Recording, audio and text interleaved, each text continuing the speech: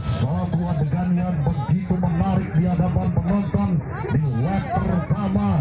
Ray Stefano di kesempatan hari Minggu ini saudara. Kita lihat apa yang dilakukan oleh para pembalap dengan kecepatan tinggi dan sekarang kembali terbang layaknya para pembalap di atas jempingan-jempingan double jam dan juga super bowl. Serta tentunya ada camel-camel yang akan dilalui oleh para pembalap. Mereka mencakarkan putaran roda dengan kecepatan tinggi di atas bareng. Kita lihat mereka melewati roller dari sirkuit. Oke. Mario Salentahe saudara. Terlihat ia bahana ke panah lepas dari busurnya bawasan Mario Salentahe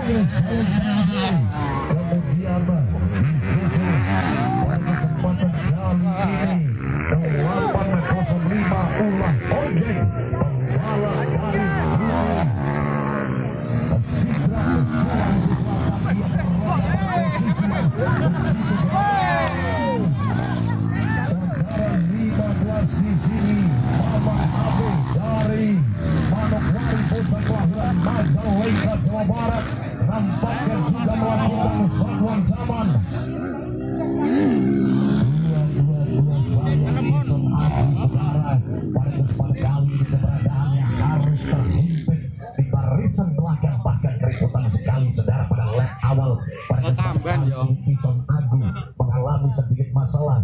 Jarak yang luar biasa dengan Mario Salentahi saudara. Salentahi